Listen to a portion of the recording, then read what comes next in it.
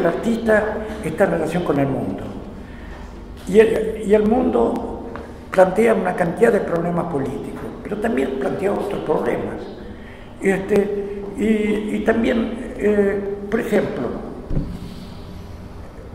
yo viendo los cuadros eh, basados en naturalezas muertas que hacía Track durante la Segunda Guerra Mundial, yo veo el mundo quebrado hasta la intimidad, hasta en la intimidad.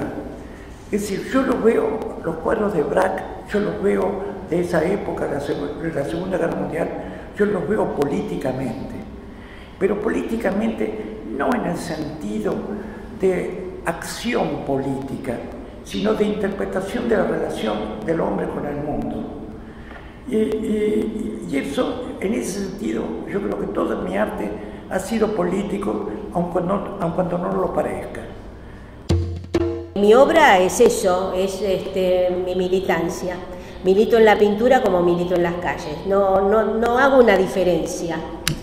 Nunca tuve el conflicto ni a nadie tampoco dentro de la militancia me ha dicho qué es lo que tenía que hacer. Siempre fui muy libre y si alguien me dice que tengo que hacer, por supuesto no voy a hacerle caso. Pero siempre fui muy libre y este, por propia voluntad eh, observo la realidad, veo los conflictos, trato de desentrañarlos y eso es lo que llevo a la pintura.